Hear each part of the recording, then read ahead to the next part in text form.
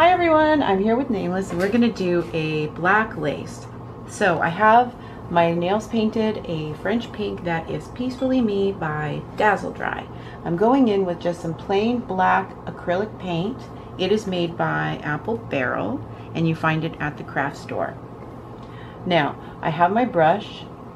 It's just the wand and it's at robinmosesnailart.com. Okay, now I'm putting, I'm gonna do late, um, like a black lace idea. And um, so I have the brush about three quarters of the way filled with the black and it's really thin. In fact, it's a little bit too thick. So let me thin it down.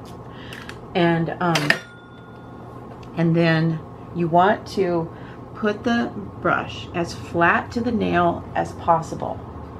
And then you take the, the brush, right, think of it, look at the cuticle, go right in the center, push, and then there's your line that you follow, okay? With the line you follow, you just, boom, down.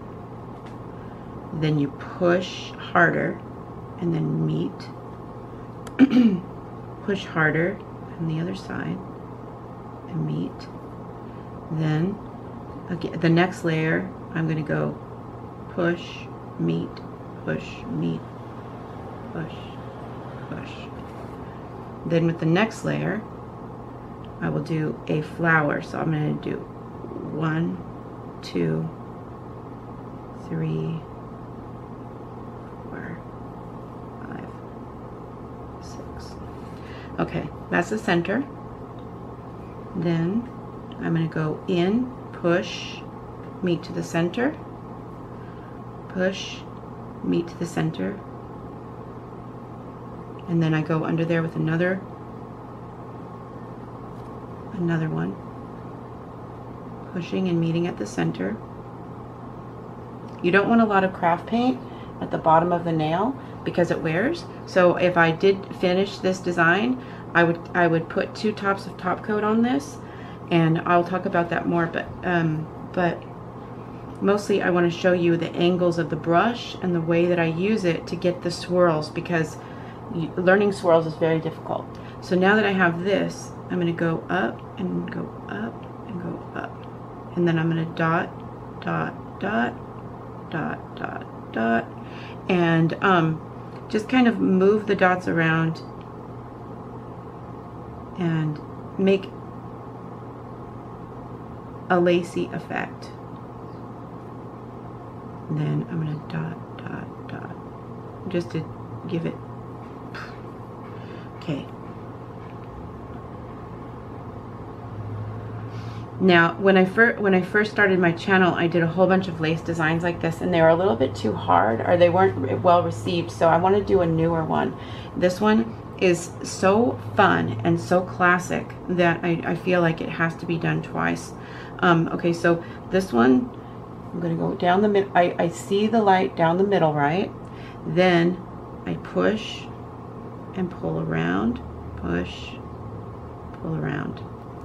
They don't have to be exactly perfect, but the better that you get, the more perfect it gets. And and holding your your brush correctly, I have my finger mounted to my hand, which mounts to the desk, so it's straight and flat and solid. Then I take my brush and then paint with it by pushing and pulling instead of trying to draw all of the filigree. I think that um, all of these, are, I have a whole bunch and you can find them in the Elegant playlist. These will be in the Elegant playlist. But um, I want to show you that this kind of design can look great and not be perfect because it gives like this fluid form that is awesome. And it doesn't look like anything. And you can use it for weddings or um, anything that you have to do that's black tie or where you want your nails to be grabbed a lot this is something that men love, like when you go out. Um, guys like this design. They like red nails and they like designs like this. And like when I when I get people that have husbands that come in and watch, this is the kind of stuff they love watching. So like um I just want to show that to you guys just in case like if you have a client who has you know somebody that comes with her every time that likes watching you paint this is a good one it really is. So anyways, okay, so let me zoom out a little bit because I wanted to get an idea what you, so when it's finished, it looks like this and look at that. Now, I, I, I, just showed you a little spectrum so that when I back out, you can see how elegant it looks. And every one of them is imperfect, but it's perfectly imperfect. So now I just have regular um, chrome glitter. I think this is like this is like a dollar on eBay. I mean, you can find chrome glitter at the dollar store now pretty much. And um, there was no such thing of it as it a year ago. How crazy is that? A year ago there was none and now there's so much. So this is a perfect example of when you would use textile medium.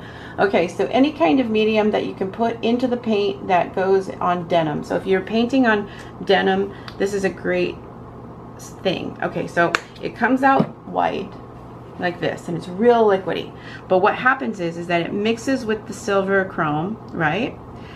And it doesn't dry out right away. So you can paint with the silver chrome and then it dries nice and tight to the nail. It doesn't peel or chip and you, you can use it with regular polish or gel. You just put it in between the coats of gel or in between the coats of polish, but it sticks and it's a great highlighter.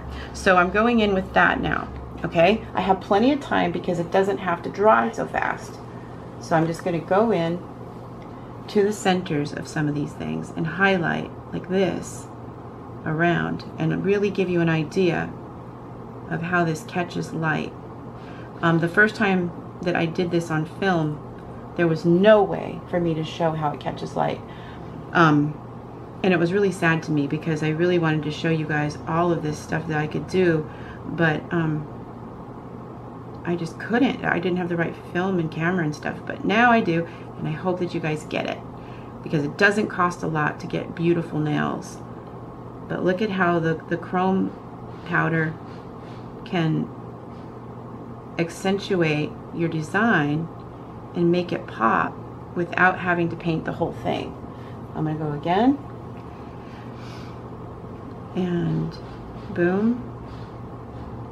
And I'm putting these up today, uh, needless. Oh, really? Yeah. I'm, I'm doing a, see how long it takes me to do a video in one day. I want to, I want to see and see if I can beat my time I always do it with nail art, but never with videos.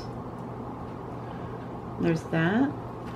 And I'm going to do one more so I can show you the difference between the two. But just I'm just going along with my brush. And that this is where I just use the thin part of my brush, using it just to highlight. And there. Like this. This. This. Okay? So when you look, I zoom out. There's that one. Let me see your other hand really quick, just just real quick together. So, so do you see the difference between the two where I've highlighted one and not the other? I'm going to finish and meet you back. Okay, so now I'm just basking my, in the splendor of these nails. okay, let me let me zoom in. Oh, well, you know what? I'm going to let you Yeah, will you please just do the thumbs and the pinkies? Just show everybody your nails and the way you do it. And so... um, and just know that this is not something that you learn overnight, but at the same time, once you learn the technique of it, and I hope that I gave you some hints and tricks, um, this is something that is in your bag of tricks forever. Now, I only used one top coat. I mean, just one color. Uh, too close or too far? Yeah, you just have to slowly there we go, across, and they come into focus. But um, anyways, you guys can you guys can um, practice this as a means to try and get this into your bag of tricks because it is something that you do take with you forever and you can mix and match this with so many different techniques.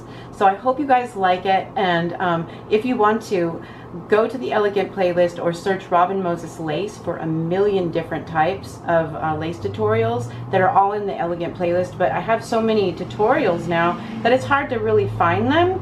But so you have to be kind of exact in your searches. So anyways, I will see you back with more. Get brushes and join me. And um, thank you for watching. Bye everyone. Bye. Just as an afterthought, I'm going to change the lights just to be on the safe side. And so I turned them down and I'm going to turn them down a little more just so that you can catch the different highlights because as I was taking pictures I don't know if you guys can see the highlights. So let me just change, change these lights a little bit. They're so shiny. I know they're so shiny. So there's one. There's an idea. You can see how the how the chrome really hits right there. So that that's with one top coat. If I wanted to to over time these seal flat and you and you won't see the little the little divots like this. They flatten out when they dry completely. These are still really wet. So um so like I will show you this and show you how awesome so anyways, there, I, I had to add that because it's better to add it than to say, oh, I wish I would have. So anyways, I'll see you back with more. Bye. Bye.